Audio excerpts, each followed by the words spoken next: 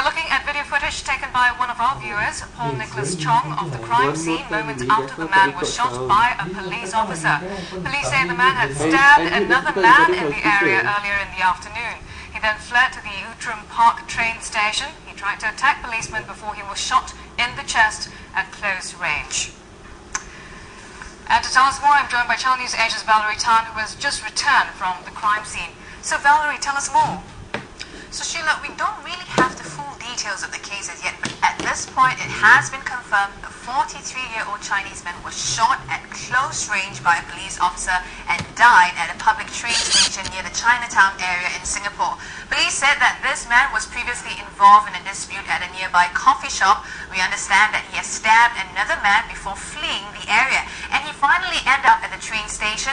Police officers then spotted him. It's believed that some kind of warning was issued to the man, but said he retaliated by trying to attack the officers instead with a knife. That was when the officer fired from his revolver and shot the man in the chest. He fell and died on the spot.